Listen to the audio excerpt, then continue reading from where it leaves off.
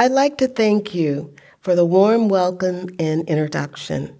I especially want to thank the Palm Springs Art Museum, the Black History Committee, and the director of the museum, Adam Lerner, for providing me with this platform for sharing my thoughts about Black history, talking to you about my history as an artist, and introducing you to a whole new body of work which I will be unveiling for the first time tonight.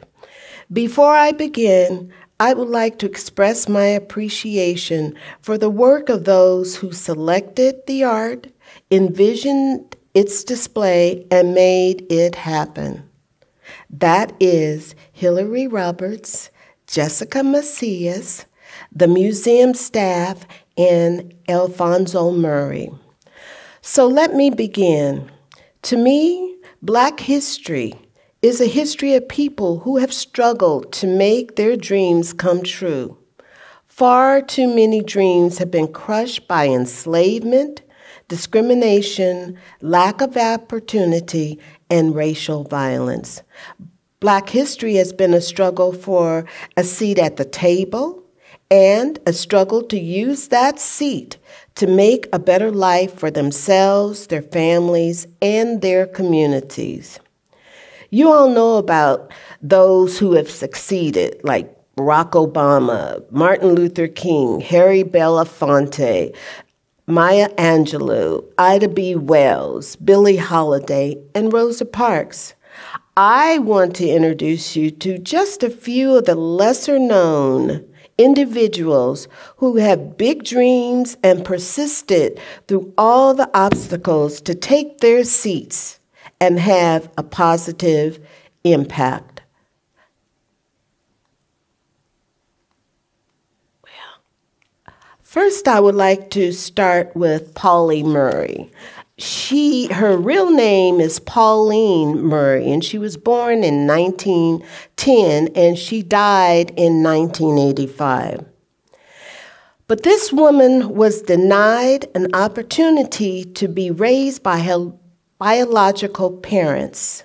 Her mother died of a brain hemorrhage, and her father was beaten to death in a mental institution.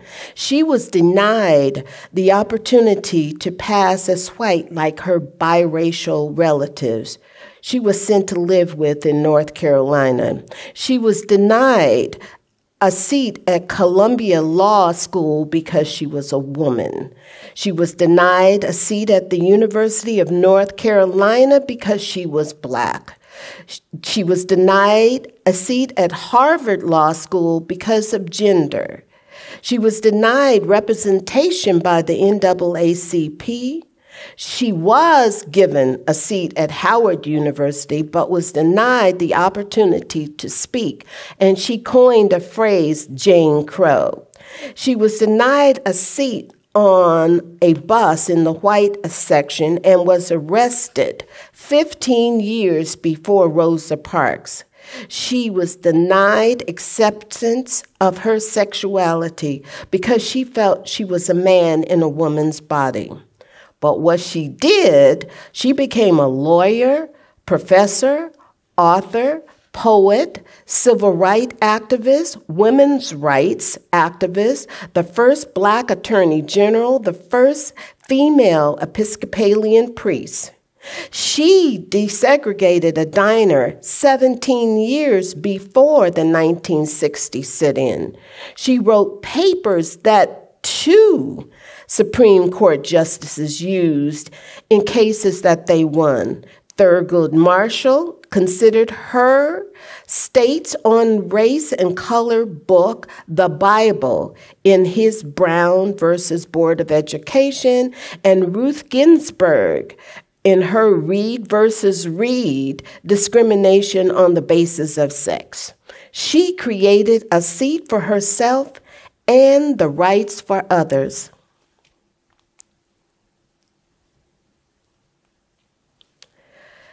And this lady is Claudette Colvin. She was born in 1939. She still lives. She was a retired nurse and activist who was arrested at the age of 15 in 1955 in Alabama for refusing to give a white woman her seat on a crowded bus nine months before Rosa Parks. She felt the NAACP did not represent her because of her image. She did not have good hair, was dark skinned, and was a pregnant teenager. Her record was expunged in December of 2021. Her seat and participation in court cases created the permanent removal of segregated busing on in Alabama. Willa Brown was born in 1906 and she died in 1992. A biracial woman from Kentucky was a social worker and became the first to obtain her pilot's license, a civil patrol license, first to obtain a mechanic's license, a commercial license in aviation, and co founded the Coffey School of Aeronautics with her husband. She was selected by the U.S. Army Corps to train blacks for a training pilot program at the Tuskegee Institute. Many of her students became the Tuskegee Airmen. On December 10th, 2014, her living nieces, Jennifer Mixon and Joycelyn Murph, accepted her Civil Air Patrol Congressional Gold Medal of Honor. She created a seat for herself at the head of the table and for those who wanted to a career in the field of aviation. Vivian Carter was born in 1921, and Jimmy Bracken was born in 1909. They formed Vee-Jay Records in 1953 after borrowing $500 from a pawnbroker to start the largest black owned record company in the world. It was situated in Gary, Indiana, six years before Motown. Vivian was a disc jockey and Jimmy owned a record store. I would like to give you a snapshot of their artists and genres. Blues, the famous John Lee Hooker, Jimmy Reed. They did doo-wop, the Dells, the Spinels, Spaniels, forgive me, uh, soul, Jerry Butler, Curtis Mayfield, Betty Everett, gospel, the Staple Singers, the Five Blind Boys, the Caravans. In jazz, Eddie Harris, Lee Morgan, Wayne Shorter. In pop, the Four Seasons, and um, the Highwaymen, that was their former name, the Beatles from Britain. They also had R&B and had Jimi Hendrix and Billy Preston. And on their comedic list was Dick Gregory. They created seats of collaboration and seats for entertainers to be heard. Ella Josephine Baker was born in 1903 and she died in 1986. She was a nurse. She co founded the Southern Christian Leadership Conference. She was the first director, and Martin Luther King was the president of the field secretary for the NAACP. She helped students form the Non Student Violence Coordinating Committee. Her nickname, which I love, is fundi. It's a Swahili word, and it means a person who teaches a craft to the next generation. Recognized as a community organizer, she created a seat at the table for herself and helped others to have a voice in their community. Carlton Highsmith. Born in 1951, he's still alive. He worked 10 years for a global packaging firm of Amstar and Rexham.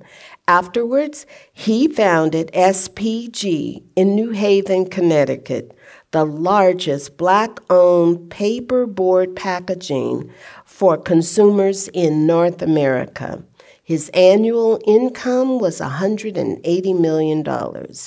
He landed a $100 million contract with Procter & Gamble for products like Crest, Tide, Irish Springs, etc. He employed over 600 uh, people. He merged with Paperworks and became the third largest paper board in North America. He founded ConnCAT in 2011 and it teaches culinary arts, medical, and phlebotomy. Now he is building a plaza to reestablish a burgeoning community, black community near Yale University. With his success, he was able to fund the needs of his community. He sat at the head of the table. And that's the plaza that he's building.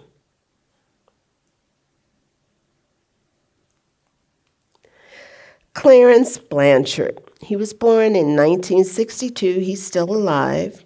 He, uh, he attended music camps with Wynton and Branford Marsalis in New Orleans. His father was an insurance salesman, and his mother was an opera singer. Clarence is a musician, composer, arranger, orchestrator who plays the piano, keyboard, and trumpet. He is best known for his music in the Spike Lee movies. He is the first black person or entertainer to reopen the 130 year old Metropolitan Opera Company with his musical composition of fired, shut up my bones, as an achievement that would make the deceased William Grant Still proud. His seat transcended another barrier in the music world. Mary Edmonia Lewis was born in 1844 and she died in um, 1907 in London. Her biracial parents died, and her half brother financed her education with his gold rush money. Oberlin College accused her of poisoning two classmates and stealing supplies. Due to racism, she left school a year before graduating. Her artistic success and popularity in Boston financed her trip to Rome because she felt opportunities, art, culture, and social atmosphere in a place where she would not be reminded of her color. Her studio became a tourist attraction, and she amassed many clients because of her sculpting talents. She received a $50,000 commission during her artistic journey, something that many artists had not achieved presently. She created she created a self for herself as an artist and became a role model for other artists. And here's some of her work.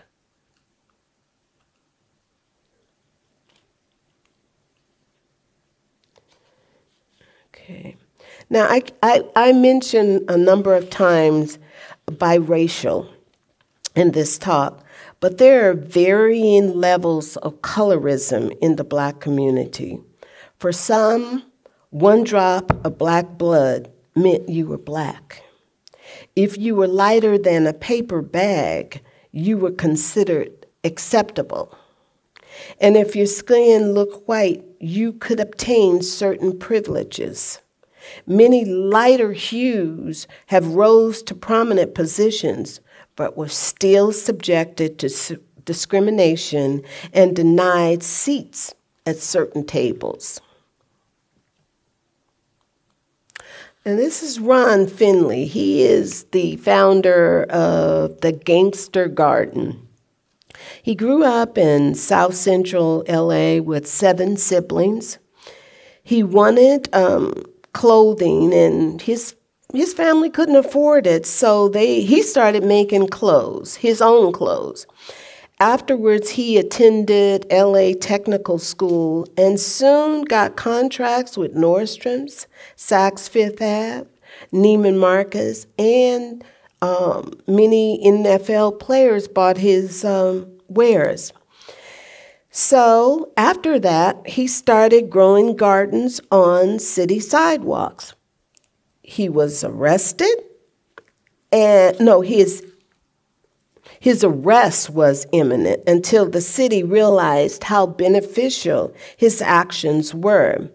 He teaches the community how to transform food deserts into vegetable sanctuaries.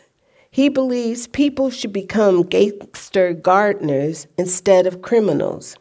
He created a seat, a seat in fashion world for himself and saw the need in his community and created an environment where people could grow. Now, I don't know who's had Roscoe's Chicken and Waffles, but if you have, uh, we're going to talk about this. This was a concept started in 1975 in Hollywood, California by Herb Hudson. He was denied bank loans uh, but he could get a loan for a car. In spite of the difficulties of starting a restaurant, getting employees, and all the struggles that go along with this business, it became a hit with celebrities, politicians, and the general po- population. Roscoe's is the largest black owned franchise with eight locations, one to open in San Diego and one to open in the Palm Springs area. Global franchising is currently in discussion. Roscoe's Chicken and Waffles success has opened opportunities for his employees and other businesses. He has hired over a thousand employees. Herb Hudson created a seat at the table, at the head of the table, and the largest black owned food franchise. Bernard C. Jackson was born in 1927 and he died in 1996. He was a native of Brooklyn, New York, who spoke fluent Spanish, and he came to California. The Watts riot was the catalyst for him to start a colorblind cultural institution. Today's well known actors like Beah Richards, Lou Gossett, Denzel Washington, George Takei, Pat Morita, and playwright August Wilson studied and performed their crafts there. Bernard stated most of my family went to jail, and I would have too, except somehow I ended up in a high school of music and art. That changed my life. It got me out of the neighborhood, and it certainly convinced me that art was a valuable tool for changing ways of perceiving the world. He created a seat for himself and a seat for culturally diverse communities.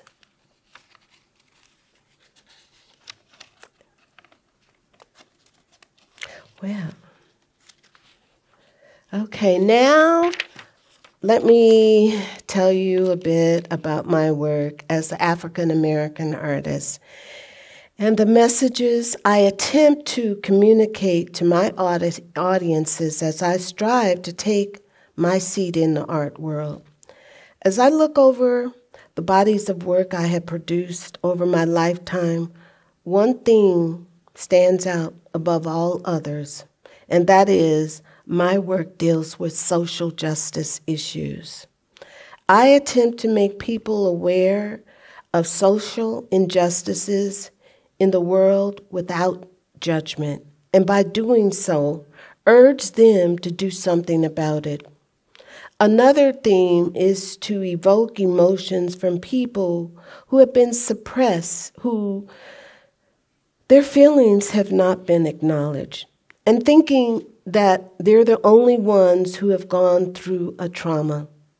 There is a healing effect from some of my work. The works that are on display in the museum comes from four different bodies of work. The large acrylic paintings of a woman holding a baby cloaked in a colorful kente fabric is one of six pieces in the kente collection. Two of them are eight feet by five feet. One was purchased by Seton Hall University and became a part of their religious iconographic collection. The large black and white charcoal is one of uh, 12 series in a traveling exhibit entitled Impact on Innocence Mass Incarceration. This exhibit brings to the attention of my audience the impact mass incarceration has on those left behind, their children and families. While our society needs to address the root causes of those wrongfully imprisoned and the disproportionate imprisonment of people of color, those left behind are being ignored. This exhibit was premiered at the Augusta Savage Gallery at the University of Massachusetts Amherst and was last exhibited at the Los Angeles Museum of Social Justice. In fact, the whole exhibit is on their website. A row of sticks bound with twine is a, small part of my Roots by the River series. This collection features spirit figures built on tree branches using colorful fabric, adorned with symbols used by enslaved Africans communicate to communicate their plans to escape.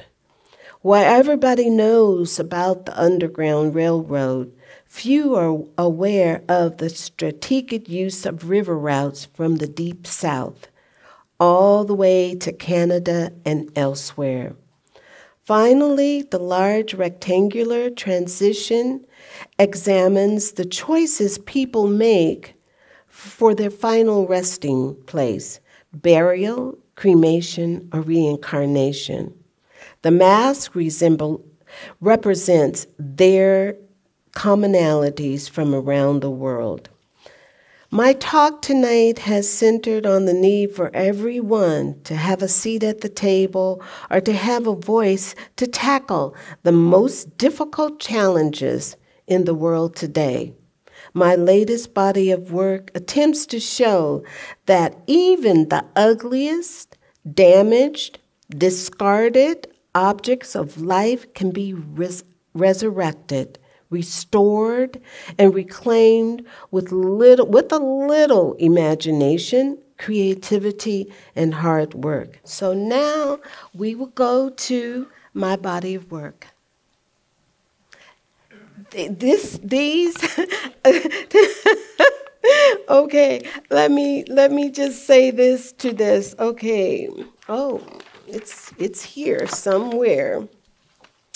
But with this, okay, it attempts, with this chair, it attempts to show even the ugliest, the damaged, the discarded objects can be resurrected, restored, and reclaimed, just like us.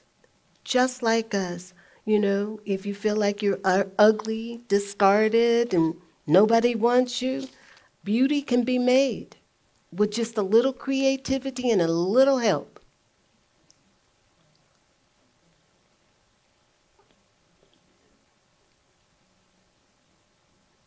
I call these Refabulous Finds Arts Chairs. This chair is from the 1800s. At the top, you can see cotton. Around the, well, it looks like the neck, you can see rope. You can see the chain. You can see tension all around the bottom. But I call that 1800 because it symbolizes what went on in the 1800s. On the back, you can't see. I have the Mexican flag, I have Native American, I have Chinese. All these people existed during the 1800s.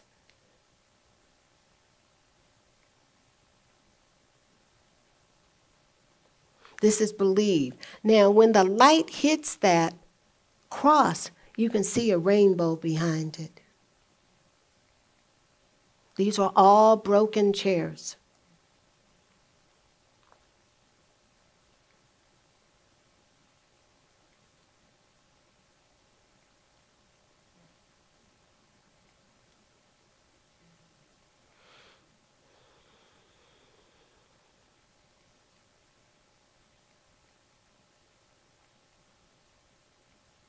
I'm going a little fast. This is the end, but I, I didn't give you enough time to see it. But I want to thank you all for coming. Please come back to the museum because the the director and his staff they have a lot of wonderful things going on, and I really, really appreciate the support you have given me tonight and those who who helped this event come to fruition.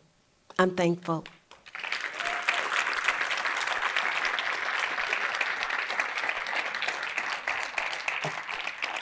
Oh, do you have any questions? if, you, if you have any questions, raise your hand. None? Oh. How long have you been practicing art or have you been making art? Okay. I don't have any sisters or brothers. So art became my friend. And I've been drawing and painting, you know, I used to say my friends were my shadow and art. Okay? And and and that's happened. And I've always been interested in the plight of others and um, giving them a voice without judgment because uh, it's not about judgment, it's about helping somebody.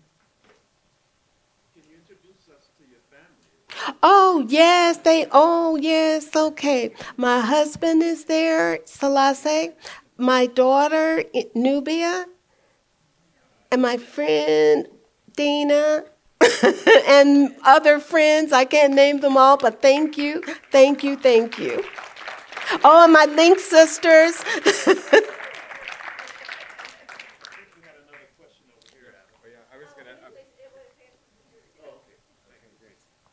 Are we? Okay. Do we have any more questions? Okay. How long does it take you to conceptualize a piece from start to finish, from when you find the object to when you complete it? Well, you know, Did everyone hear the question? How long does it take to complete a piece from the time you conceptualize it to the time you finish it? well, okay, it depends on the piece. Sometimes I, I love materials, so I can find something on the street or things that I've repurposed. Um, so if it's something that I've repurposed, it may take, I would say, at least three weeks to months that's what it takes because usually I do research on what I'm what type of art that I'm going to make. Even though I've been inspired by what somebody has said I want to read uh, what other people who had felt about that same situation. So then I can get a broader perspective and when I create the artwork then it's not like for one person, it, it represents a community. Did I answer that? Okay. I have a question. Uh, so you, you work you work in so many different materials, and sometimes you do paintings, and you do sculpture, sometimes furniture. Is there a is there a home base for you? Is there, or is it, are you always working in all the different genres? Well, you know, I like to experiment. And um, again, the materials influence my my decisions. So, like for the black and white charcoal, I usually don't work in charcoal, but because I thought that material would tell communicate the story better. So that's why I used that. Um, on the transition, why did I use that technique? Because I was work, thinking about the other side. What does the other side look? We, you know, I asked the question, does heaven have a ghetto? I mean, not to be, but I want to know. I want to know what it's like or what it isn't. So I I work that way. Did I answer your question? Okay. Okay.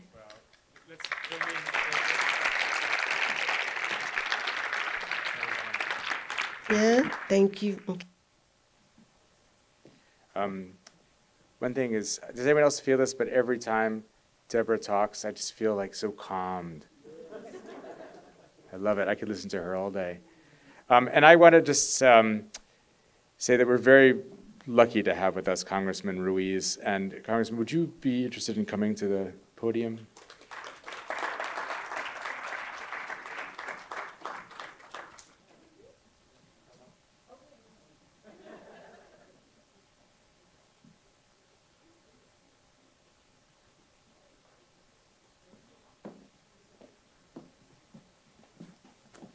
Hello, everyone. I'm Congressman Dr. Raul Ruiz, and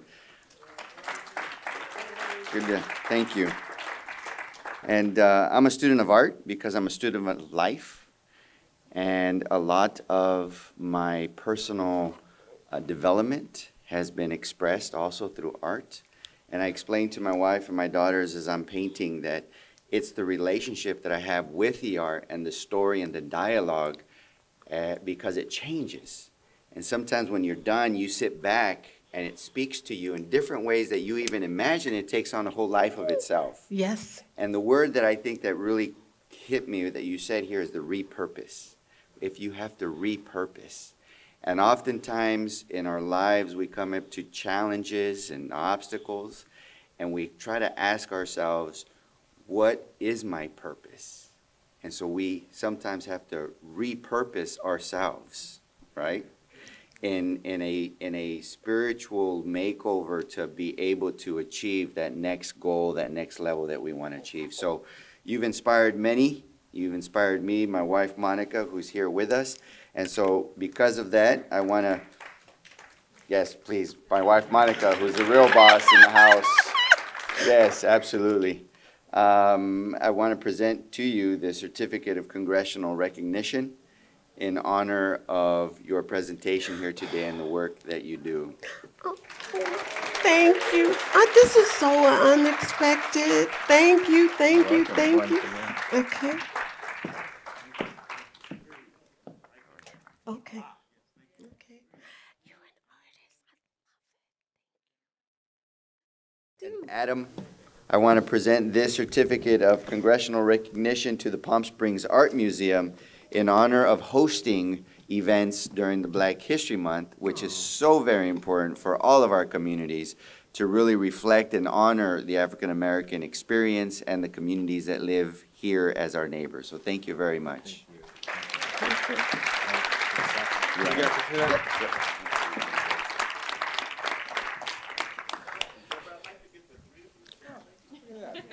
sorry you guys have to watch this. Okay, let me open mine. okay.